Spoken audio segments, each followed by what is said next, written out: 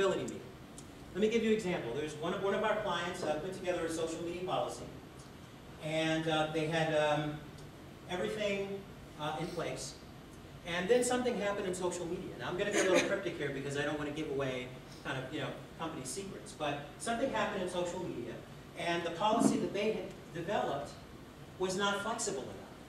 Because at the end of the day, their response was delayed because the people who were empowered to make decisions didn't have the flexibility to make decisions rapidly.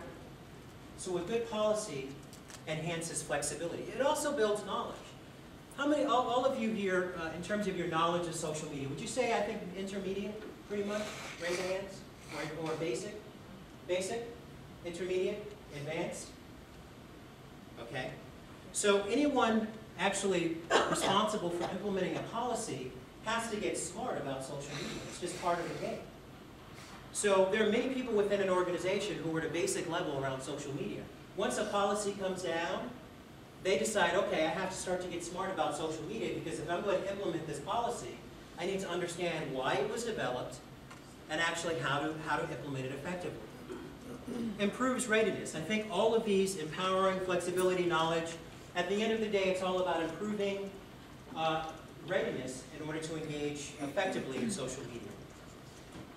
Good policy comes from three areas, or three stages, or three steps. People, process, and practice. People. I spoke about this before. Begins and ends with people. What do I mean by people? Let's give some examples.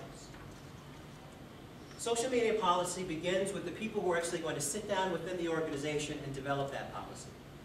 In some organizations, they have developed working groups. And these working groups are cross-functional uh, teams that are engaged and responsible for developing the policy. Those people all have agendas. Those people all have points of view. Those people all have politics within the organization that they have to manage. It begins with people, it ends with people, but it begins with the people who are developing that policy, and it ends with the people who are going to be implementing that policy. So whenever you're developing a policy, you always have to think about who's actually engaged. People questions. These are the questions that I'd like you to take with you and kind of remember as you engage in the social media policy development process. What's, what's your name? Mike? Mike? No, you said Mike. Yes, what's your name? My name's Randy. Randy, okay. Randy, you spoke before about different policies that have to be put together for HR, marketing, etc., right? Right. So if you're developing a policy, I guess the first thing you would think about is who's this going to be for, right? So a policy uh, that's developed for within HR for, for employees engaging in social media is going to look different than a policy that's for marketing, uh, folks in marketing who are going to be implementing uh, social media communications. For example, the people in, uh, in uh, employees engaging in social media uh, and, and they're talking about company issues, they have to think about regulatory issues certainly, but it's a, it's, it's a definite for the marketing and communications folks who are going to be implementing social media communications uh, uh, activities. So the first thing you have to think about is who's this policy for? that will, that will de uh, then determine a number of other things. The second thing is who's this policy actually going to help? At the end of the day, a lot of companies talk about how they want to be customer-centric. They want to be closer to the customer.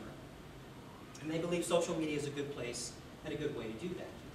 So at the end of the day, you can think about a policy certainly helping you do things within the organization, but policies are also for the patients, for the healthcare providers, uh, for the people in managed care or managed markets, they're for the government agencies. These policies should be developed to help organizations that your organization uh, is engaged with. Who will it harm? Policies always harm people. You know why policies always harm people? Because there's always going to be winners and there are going to be losers. Let's give me, let me give you an example. If a policy is being driven by communications within a pharmaceutical organization, right? And communication says, we want this policy so that we can do X, Y, Z in the social media realm, whether it's build a Facebook page or put together a mobile application, et cetera, et cetera. That policy is certainly helping them. But who does it harm? A regulatory person, not to pick on regulatory, but a regulatory person might think this policy is going to harm me because it's going to make my job harder. because I have more things that I have to review. I'm already uh, uh, stuffed to the gills in terms of things that I have to manage on a day-to-day basis. If you develop this policy, you're going to make my job harder, and then you're going to harm my ability to to succeed within this organization.